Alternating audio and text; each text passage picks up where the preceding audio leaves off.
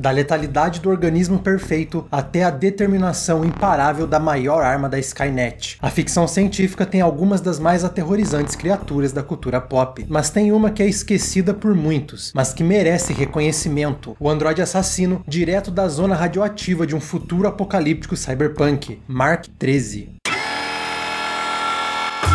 Desenvolvido para enfrentar os inimigos de uma guerra em um futuro desolado, Mark 13 é um ícone cult da ficção científica e um filme que, apesar dos seus muitos defeitos, tem uma incrível fotografia, uma direção de arte fantástica e uma iluminação sublime em uma viagem psicodélica em um futuro distópico completamente nihilista, que combina Dario Argento e o expressionismo alemão com Philip K. Dick, e que além de ser uma interessante viagem, ajudou a salvar os filmes independentes do Reino Unido e perdeu uma batalha judicial judicial contra o juiz Dredd. É, o filme de hoje com certeza tem várias camadas a serem desembrulhadas, mas é uma obra que eu acho fascinante e que merece ser relembrada em todo o seu primor de cores e estética. Hoje vamos conhecer a história de Hardware, o destruidor do futuro.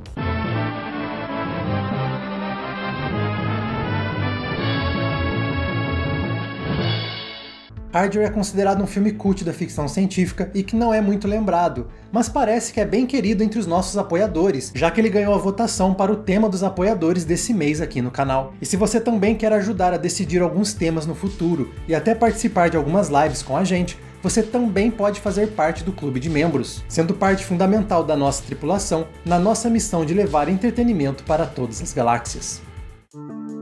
Hardware possui um conceito bem simples para sua história. A trama se passa em um futuro não tão distante, onde a humanidade já passou do ponto de colapso. Um futuro cyberpunk dominado pela destruição e pelo lixo, e onde parte do mundo se tornou uma zona radioativa. E é nessa área radioativa que muitos tentam encontrar objetos para revender. É nela que um nômade encontra as peças de um androide e o vende para Mo, um soldado que está voltando de combate e quer as peças como presente para sua namorada Jill. It's Christmas Eve. Elvie. You should know that. You used to be an elf, didn't you? You can't expect me to go back to my girl empty-handed, can you? O problema é que as peças que Mo deu de presente de Natal para sua namorada são parte de um Android Mark III, desenvolvido para a guerra e para exterminar todos os seus inimigos, programado para se reativar em qualquer situação, se reconstruir e voltar a exterminar. A partir daí, o filme se torna uma luta pela sobrevivência de Jill, presa em seu apartamento com uma das máquinas mais mortais do mundo.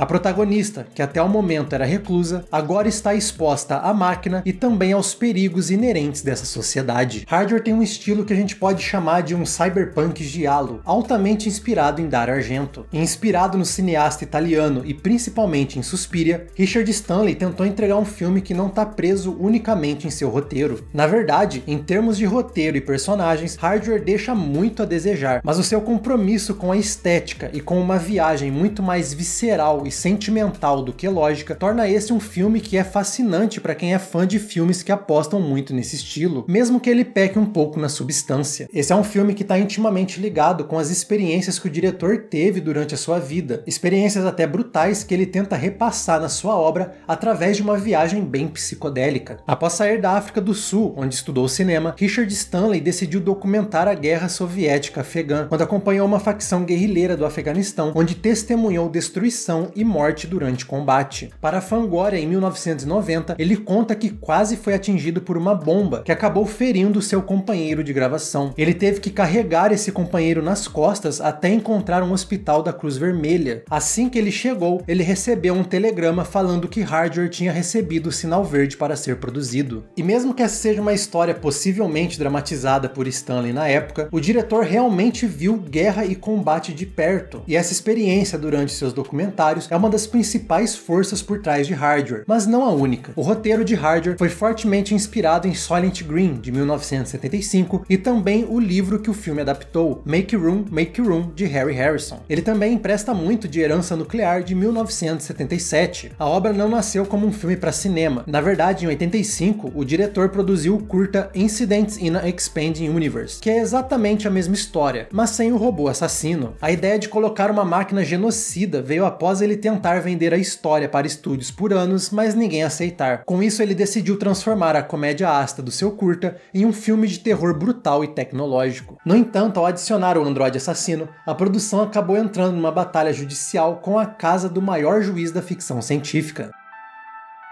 Em 1981, foi publicado na Judge Dredd Annual a história Shock, sobre um soldado que, ao voltar para Mega City 1, compra para sua namorada peças de um droide de guerra encontradas na Terra Maldita. Peças que acabam se reconstruindo e o robô deve seguir a sua programação e atacar tudo que está vivo. Com isso é fácil ver o quanto as histórias são similares, incluindo cenas bem específicas. Mas Stanley disse que a semelhança foi completamente acidental, o que não impediu a Fleetway Group, dona da 2000 AD na época, de processar a produção e exigir que versões lançadas depois de 1990 exibissem uma mensagem creditando a publicadora e os criadores da Shock. Particularmente, eu acredito que as semelhanças são muito próximas para serem meras coincidências. Mas felizmente, o filme vai muito além de simplesmente adaptar a história da 2000 AD. Com o roteiro aprovado, a produção da britânica Palace Pictures recebeu ajuda da norte-americana Miramax. O interesse era óbvio. Todo mundo queria fazer sucesso com filmes de baixo orçamento. Como o próprio diretor disse, eles queriam o sucesso de Alien pagando apenas R$ 1,99. No entanto, não é pelo roteiro em si que esse filme se destaca de outras histórias de robôs assassinos, mas sim pela sua estética e ambientação, que se destacam pela alta qualidade técnica e pela brutalidade.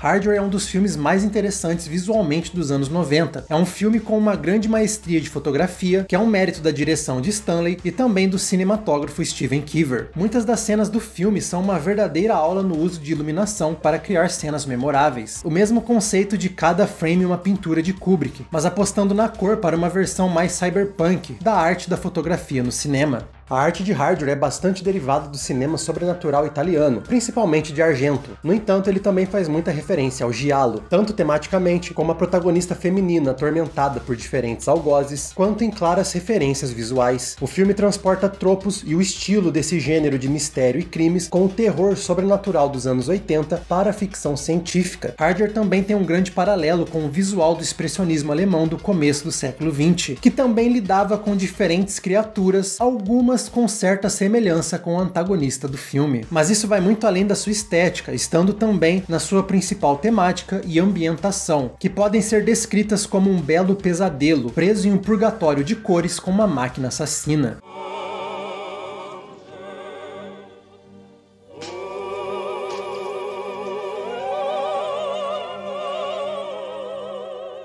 Essa é justamente a principal intenção do filme, causar uma reação direta, emocional e visceral, quase que diretamente oposto ao apego lógico e narrativo de outros filmes. Como o diretor disse a Fangoria, eu quero que essa seja uma experiência psicodélica genuína. Espero que o resultado seja como a pior brisa errada possível. E honestamente, esse objetivo Stanley atingiu em cheio.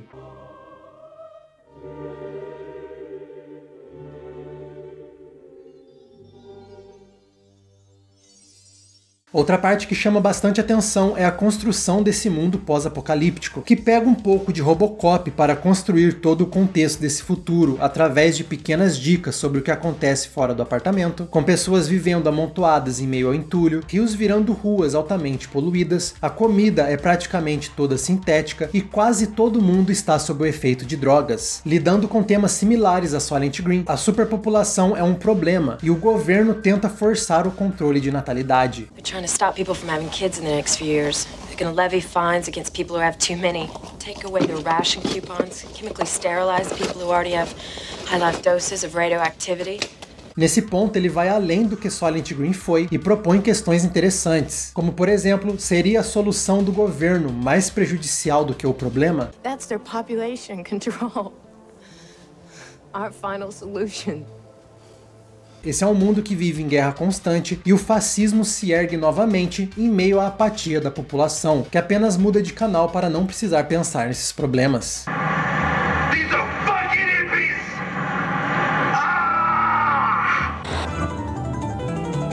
De acordo com a produção, essa é uma crítica direta à aceitação passiva do totalitarismo. E vale mencionar que muitas dessas informações sobre esse mundo são entregues por Angry Bob, o radialista dessa terra desolada, que é interpretado por ninguém menos do que o selvagem Iggy Pop. Weather control tell us it'll probably hit 110 downtown before nightfall.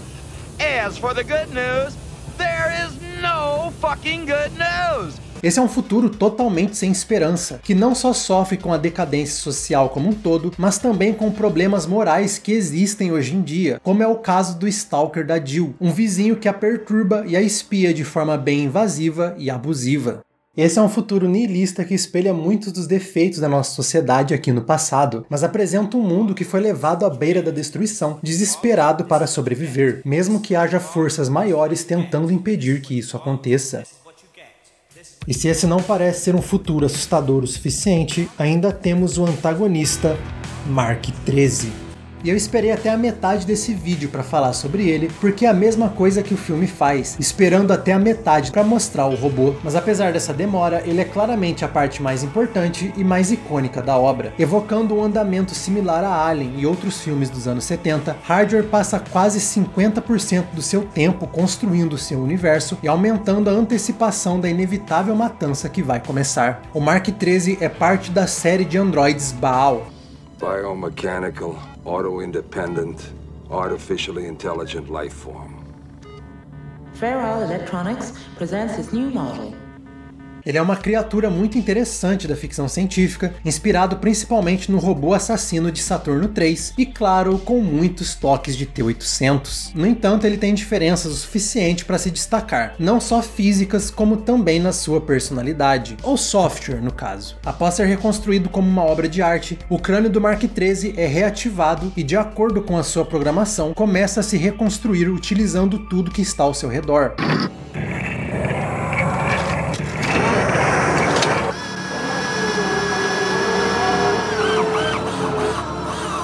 Que de um ponto de vista técnico é uma solução genial. Sem a ajuda de Stan Winston e com 20% do orçamento de Exterminador do Futuro, Hardware nunca alcançaria a perfeição cromada de um T-800. Sendo assim, a decisão foi fazer o robô reconstruído por entulho, buscando ficar o mais próximo possível da sua forma original, mas ainda assim limitado pelos materiais que ele encontra. Com isso, o efeito prático do Mark 13, que na maioria das vezes é bom, também tem a justificativa de parecer ruim em muitos momentos. Afinal, ele não não está em sua forma perfeita. Querendo ou não, ele ainda é um monte de lixo. Mas isso não o torna menos assustador. O robô conta com seis membros principais, mais três membros auxiliares que podem ser equipados com serras furadeiras e o que mais ele encontrar pelo caminho.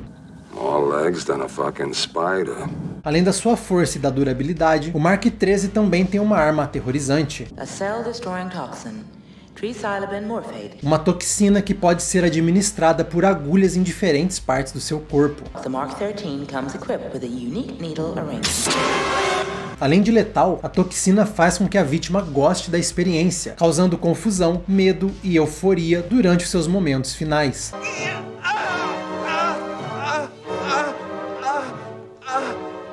A toxina em si é a sintetização da atmosfera do filme. A morte é o único alívio para o pesadelo que é enfrentar um Mark 13, tal como também é um alívio para quem vive nesse mundo. E o filme mostra isso de forma bem clara, já que os únicos momentos em que os personagens demonstram felicidade é quando estão sob efeito da toxina.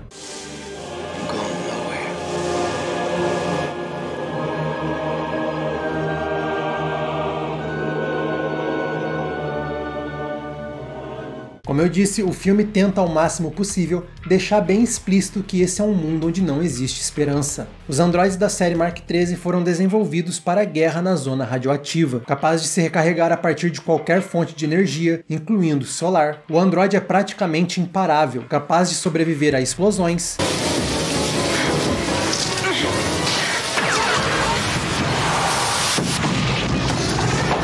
Tiros e a dano físico. Mas felizmente ele tem o seu tendão de Aquiles. Como nesse futuro árido quase nunca chove, o Mark 13 não foi desenvolvido com isolamento interno feito para suportar grandes quantidades de água, o que é exatamente o que acontece durante o clímax do filme.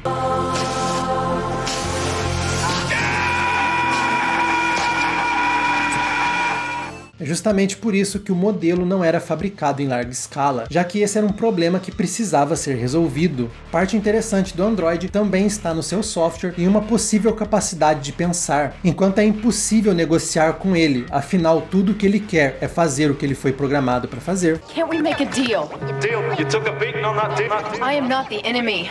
This isn't the zone. She knows I've got a job to do. Ele demonstra sentimentos básicos, como surpresa, como acontece quando ele encontra com uma criatura similar a ele fisicamente. E diferente de muitas outras máquinas assassinas, o Mark 13 também demonstra instinto de sobrevivência e de autopreservação.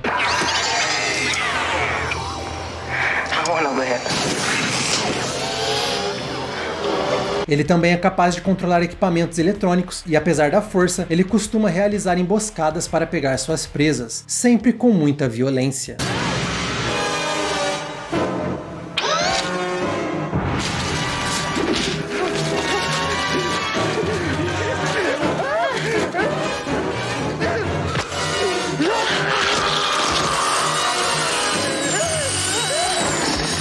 Uma das ideias conceituais mais interessantes do robô está na sua visão, sempre focando no calor. Mas o calor nesse filme é representado propositalmente como uma luz, que é uma subversão de um dos principais tropos do cinema. A luz representa a salvação e a famosa luz no fim do túnel representa a esperança. No caso de Hardware, o único personagem que procura a luz constantemente é o Mark 13, perseguindo constantemente uma esperança que é colocada em seu software, o chamado superior da máquina criada pelo seu programador. Isso junto com a pintura da bandeira dos Estados Unidos no crânio da máquina assassina, são subversões bem interessantes de diferentes símbolos do cinema e da cultura pop que foram bem exaltadas principalmente nos anos 80. É um conceito que carrega uma mensagem sutil o suficiente para não atrapalhar o filme, mas que também é marcante. O final do filme volta a deixar claro o tema de falta de esperança, porque quando o pesadelo psicodélico de Jill finalmente acaba, a primeira coisa que ouvimos quando o novo dia começa são as notícias vindas do maravilhoso Angry Bob. We got some good news this morning from Fair Isle Electronics. The Defense Department has just given them the go ahead to mass produce the new Mark 13 Cyborg. Esse mundo que já era bastante sombrio, agora terá a produção em massa dos Mark 13, possivelmente condenando muita gente ao mesmo terror que aconteceu durante a noite de Natal no apartamento principal do filme, já que agora sabemos que o Mark 13 não diferencia o inimigo do aliado e busca apenas a destruição completa do que ele foi programado para caçar, ideia que propositalmente remete a obras do Philip K. Dick, como segunda variedade, que foi citada como inspiração direta para o roteiro.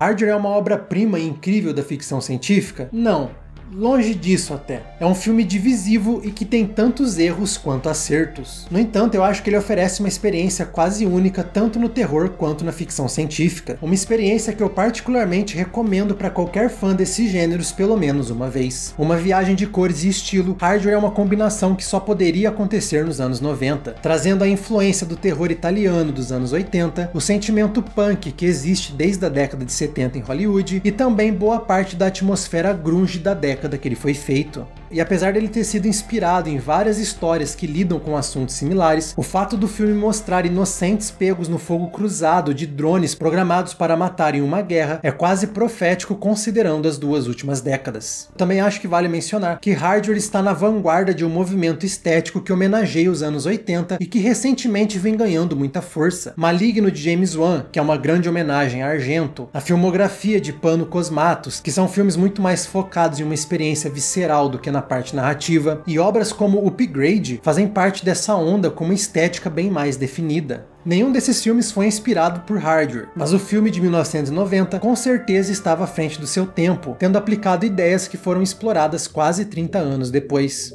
Por aqui é comum falarmos de filmes que mereciam sequências, mas que não tiveram a atenção devida na época. Curiosamente, Hardware está no caminho oposto, é literalmente um filme que sofreu com o sucesso. A Palace quis replicar o sucesso financeiro que ela teve com Evil Dead nos anos 80, e ela até que conseguiu, tanto que Hardware se pagou antes mesmo de ir para o cinema, só com os pré-acordos de distribuição. Nos Estados Unidos, ele conseguiu arrecadar cinco vezes o seu orçamento, e isso iniciou uma batalha entre a Palace e a Miramax para para saber quem tinha os direitos e quem iria produzir o segundo filme. Batalha que durou tanto tempo que ele só ganhou uma versão em DVD em 2009. E até hoje eles brigam para saber quem tem o direito sobre o filme. É por isso que ele não existe nenhum streaming. Um roteiro completo da sequência chegou a ser escrito chamado Hardware 2 Ground Zero. É bem fácil encontrar ele na internet e ele mostra que os Mark 13, agora produzidos em massa, estavam sendo usados como patrulha na fronteira entre os Estados Unidos e o México, matando qualquer imigrante. De novo, levemente profético. Gil agora seria parte de um grupo anti-tecnologia que acaba se tornando uma guerrilheira contra o exército de Mark 13, que avança na zona radioativa. O filme provavelmente teria um orçamento muito maior, e com o roteiro, ele seria bem próximo da Guerra do Futuro do Exterminador do Futuro que nunca vimos. Mas infelizmente a ganância matou o projeto.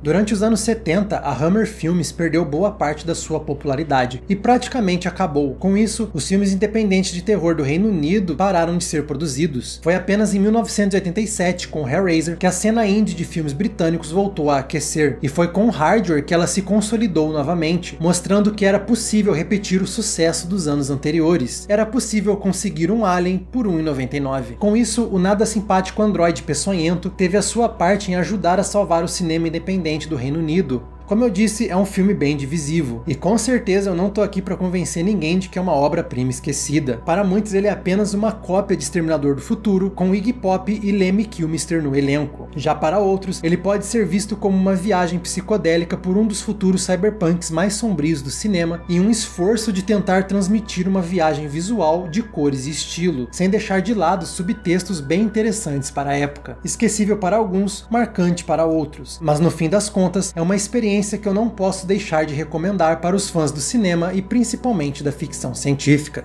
E eu espero que você tenha gostado dessa viagem psicodélica cheia de cores e a gente se vê em outras galáxias.